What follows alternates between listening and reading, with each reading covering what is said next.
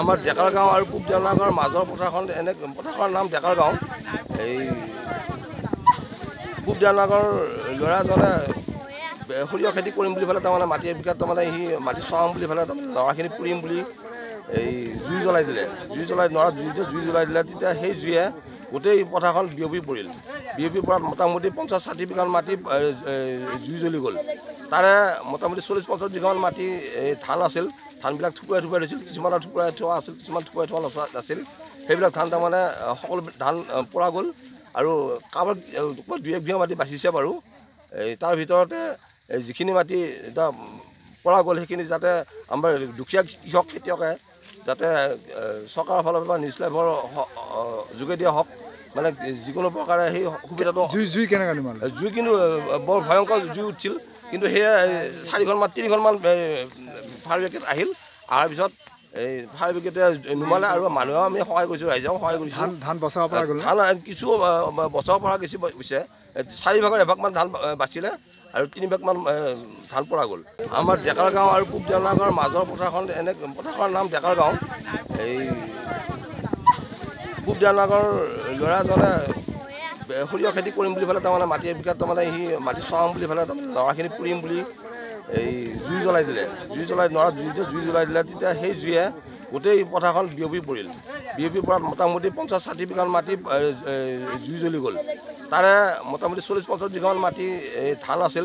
ধানবিলাক থুকুৱাই থুকুৱাই থৈছিল কিছুমানৰ থুকুৱাই থোৱা আছিল কিছুমান থুকুৱাই থোৱা নাছিল। সেইবিলাক ধান তাৰমানে সকলো ধান পৰা গ'ল।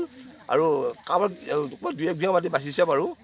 এই তাৰ ভিতৰতে যিখিনি মাটি এতিয়া পৰা গ'ল সেইখিনি যাতে আমাৰ দুখীয়া কৃষক খেতিয়কে যাতে চৰকাৰৰ ফালৰ পৰা নিউজ লাইভৰ যোগেদিয়ে হওক মানে যিকোনো প্ৰকাৰে সেই সুবিধাটো জুই জুই কেনেকৈ নিমালে জুই কিন্তু বৰ ভয়ংকৰ জুই উঠিছিল।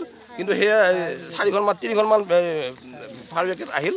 অহাৰ পিছত এই ফায়াৰ ব্ৰিগেডে নুমালে আৰু মানুহেও আমি সহায় কৰিছোঁ ৰাইজেও সহায় কৰিছোঁ। ধান বচাব পৰা গ'ল ধান কিছু বচাব পৰা গৈছে পিছে চাৰি ভাগৰ এভাগমান ধান বাচিলে আৰু তিনি ভাগমান ধান পৰা গ'ল। আমাৰ ডেকাৰ গাঁও আৰু পূব দেওনা গাঁৱৰ মাজৰ পথাৰখন এনে পথাৰখনৰ নাম ডেকাৰ গাঁও এই পূব দেওনা গাঁৱৰ ল'ৰাজনে সৰিয়হ খেতি কৰিম বুলি পেলাই তাৰমানে মাটি এবিঘাত তাৰমানে সি মাটি চহাম বুলি পেলাই তাৰমানে নৰাখিনি পুৰিম বুলি এই জুই জ্বলাই দিলে। জুই জ্বলাই নৰাত জুই জুই জ্বলাই দিলে তেতিয়া সেই জুয়ে গোটেই পথাৰখন বিয়পি পৰিল। বিয়পি পৰাত মোটামুটি পঞ্চাছ ষাঠি বিঘামান মাটি জুই জ্বলি গ'ল। তাৰে মোটামুটি চল্লিছ পঞ্চাছ বিঘামান মাটি এই ধান আছিল। ধানবিলাক থুকুৱাই থুকুৱাই থৈছিল কিছুমানৰ থুকুৱাই থোৱা আছিল কিছুমান থুকুৱাই থোৱা নাছিল।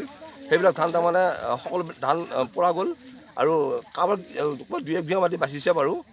এই তাৰ ভিতৰতে যিখিনি মাটি এতিয়া পৰা গ'ল সেইখিনি যাতে আমাৰ দুখীয়া কৃষক খেতিয়কে যাতে চৰকাৰৰ ফালৰ পৰা নিউজ লাইভৰ যোগেদিয়ে হওক মানে যিকোনো প্ৰকাৰে সেই সুবিধাটো জুই জুই কেনেকৈ জুই কিন্তু বৰ ভয়ংকৰ জুই উঠিছিল কিন্তু সেয়া চাৰিখনমান তিনিখনমান ফায়াৰ ব্ৰিগেড আহিল অহাৰ পিছত এই ফায়াৰ ব্ৰিগেডে নুমালে আৰু মানুহেও আমি সহায় কৰিছোঁ ৰাইজেও সহায় কৰিছোঁ। ধান বচাব পৰা গ'ল ধান কিছু বচাব পৰা গৈছে পিছে চাৰি ভাগৰ এভাগমান ধান বাচিলে আৰু তিনি ভাগমান ধান পৰা গ'ল।